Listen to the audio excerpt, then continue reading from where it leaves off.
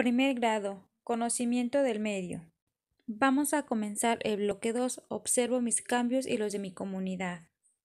Con un marcador o con su lápiz van a encerrar quién tiene tres zanahorias, quién jala hojas con un rastrillo y quién riega las lechugas. Observen muy bien la imagen. Página 66. Aprendo a convivir en mi escuela. Observa quiénes integran esta escuela. Observen muy bien la imagen y por medio de un audio me lo van a decir. Y también me van a contestar la pregunta ¿por qué las personas de la imagen forman una comunidad escolar?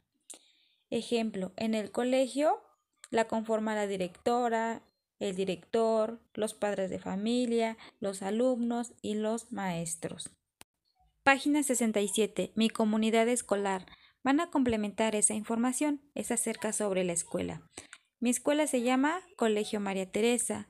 Algunas de las personas que trabajan en mi escuela son, van a escribir el nombre de la directora, de su maestra, de sus compañeros y de los padres de familia. En este caso pueden ser sus papás.